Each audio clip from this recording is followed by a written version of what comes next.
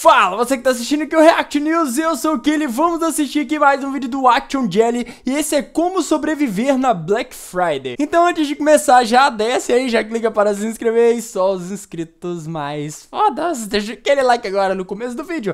E vamos começar em 3, e 2, e 1. Lari, tem uma data muito especial chegando aí. Você vai começar Né? o vídeo sem falar olá? Mas eu, eu não quero ser clichê, eu não quero falar, começar falando olá. Fala galera, belezinha? Belezinha. beleza. Beleza. Agora tá melhor, agora é melhor. o vídeo do YouTube. Então, sabe que época especial tá chegando? Eu sei, a época de muitos descontos. Época de Então, gastar, é época de desconto e coisa barata. E quem não gosta de desconto e coisa barata, né? né? Eu gosto de Negócio. coisa barata. E estamos É bom, falando é então da Black Friday. Na verdade, a gente não tem encontrado uns descontos muito bons ultimamente por aí, né? Dos últimos anos, ultimamente. É difícil. Dos últimos Tudo anos. pela metade do dobro. E também, sempre que chega essa época, eu fico sem dinheiro. Na verdade, eu fico sem dinheiro o ano inteiro. Eu acho que tem algo errado aí. Eu Né? tenho 50 reais pra passar a Black Friday, serve? Onde está minha mansão com dinheiro do YouTube? Eu, eu sobrevivo cada dia com um pacote de biscoito. Eu fiquei triste agora. É Ok, de qualquer forma, essa lista serve pra qualquer época do ano e pra qualquer um que quer sair mentalmente ileso, sem ter chamado nenhuma vendedora de mãe sem querer, alguma bizarrice assim. Primeiro item da nossa lista especial de sobrevivência: vergonha de entrar na loja. Se você quer entrar numa loja sem se preocupar em socializar, Eu nem entro. Só não você entrar. né? pode seguir uma estratégia muito útil para se acalmar. Primeiro passo, finja que você tem um cachorro. Um cachorro pequeno, imaginário. Não importa o tamanho dele se ele é imaginário, né? Mas é um cachorro que escapou da coleira e entrou na loja. Você tem que ter uma O coleira na mão, tá? Não esquece disso. E agora, o que eu faço? Bom, é simples. Você entra na loja e começa a olhar atentamente entre cada roupa, como se estivesse procurando o cachorro. Mas Boa. na verdade, você tá procurando descontos. Então os vendedores vão falar assim: Ah, ela claramente não quer comprar roupa, ela só tá procurando.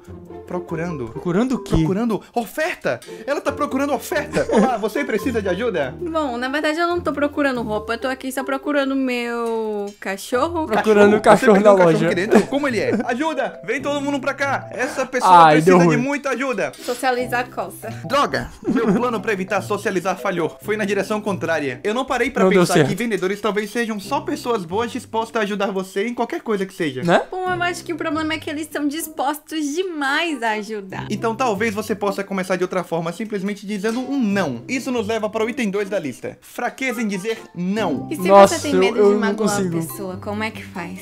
Bom, a sensação que um não possui pode parecer dolorosa, mas não se preocupe, você estará poupando muito tempo de vocês dois. Olá, bom dia, Já que é. como posso ajudar? Não, não, não. ok, qualquer coisa aí é só. Eu sempre não falo me que, chamar. que pode. Desculpa. Tá, não isso pareceu meio não. extremo. É, magoar a pessoa aí. Vamos começar suave então. Tenta praticar. Comece praticando na frente de um espelho. Diga não, obrigado. Não. obrigada. Com um sorriso. Abra um sorriso lindo. Ok. Não. Menos bizarro. Parabéns! Você acabou de aprender uma habilidade social aplicável a muitas situações, como, por exemplo, panfletagem na rua. Panfletos de graça. De graça? Quer dizer, não, obrigado. Sua primeira comunhão. O corpo de Cristo. Não, só tô dando uma olhadinha por aqui, obrigado. Assaltos. Aí, passa a carteira. Não, obrigado. Ou até mesmo na Não casa faça da sua isso avó. mesmo. Quer mais bolinhos, meu netinho? Não, obrigado, vovó. Não, também. quero. Bolinhos quero. Tá, pensando bem, aceite bolinhos da sua avó sempre, ok? Terceiro item na lista. Vai engordar? Como um Vai, mas é gostoso. Mais itens, uau! Mais item, essa lista aqui eu, eu fiz com esforço. Muito obrigada. É, sabe, ser cara de pau e ter aquela ginga marota é muito mais fácil do que você imagina. É mesmo, Lennon? Me ensina. Para isso, basta usar uma de minhas várias técnicas patenteadas. A principal que eu uso é se apoiar em algum balcão. O balcão é fundamental, porque você vai parecer muito maneiro se ficar apoiado em alguma coisa. Mas se Ela você não tiver um nele. balcão, pode usar uma parede ou então uma pessoa mais baixa que você que também serve. Depois fique de ladinho. Assim? Isso. Vire a cabeça pra pessoa. Levante uma sobrancelha. Uma só não dá. Abra um sorriso. E, pe- e pergunte. Não rola um descontinho aí não. Eu não consigo, não consigo. sobrancelha. Parece que é uma coisa mais que a gente tem que praticar. Ah, não vai. Como é que mexe a sobrancelha, Lennon? Dançar com as sobrancelhas é, é um bônus. E até capaz de seduzir um paquera. Você chega assim no paquera. Então, ainda bem que você não sabia isso quando a gente começou a namorar. Ah, seria fácil, né? Teria sido mais fácil, eu não teria levado 47 nãos. Bom, É isso quer verdade. dizer que se você tá num parque de diversões e o monitor de um brinquedo for extremamente imprudente, você pode aplicar essa técnica pra conseguir o desconto de altura.